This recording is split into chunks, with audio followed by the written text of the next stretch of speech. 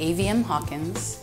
Uh, the show is my solo exhibition entitled Alchemy. It is inspired by the book The Alchemist by Paulo Coelho.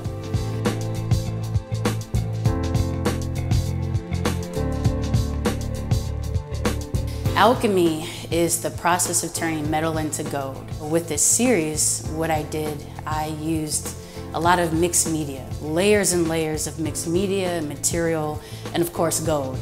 And um, so that the canvas and the materials used no longer looks like a canvas, but is transformed into something else. It's transformed uh, into, into metal.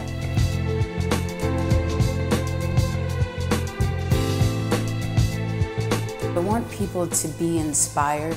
The book itself is very inspiring. It, it's one of those books that kind of speaks to the soul of the person. It, it speaks directly to you and it's inspiring for you to, to do whatever it is you feel like you want or desire to do for your life. It's very much about the journey, the process, but then also loving and learning and enjoying every step of the way on the journey. It's not just about the destination or just getting a treasure, but really loving and living your life in the magic and living now, cherishing and learning from each person you meet on the way, um, and recognizing that the real treasure is the here and now and living your destiny pretty much. There's a lot of uh, a lot of the titles, a lot of the words in the pieces um, I hope kind of speak to also the soul of the person that is specific to them and, and inspires them as well.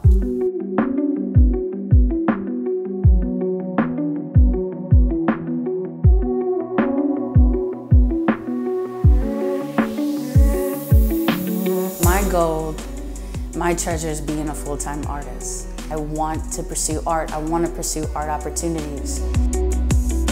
There's a famous quote in this book uh, that a lot of people quote, but when a person truly wants something, all the universe conspires for them to achieve it. And I made a decision that I was gonna just pursue as many art opportunities. I wasn't gonna go crazy and quit my job, but I was going to just pursue uh, whether it's taking classes or just opportunities to show my work.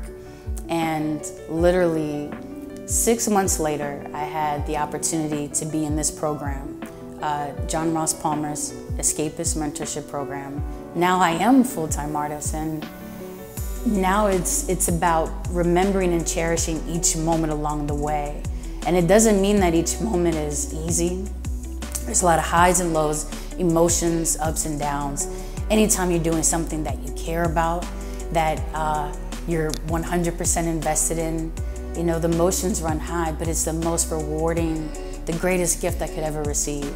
Um, and so I do think that that energy and that love definitely has uh, poured into, you know, to this project.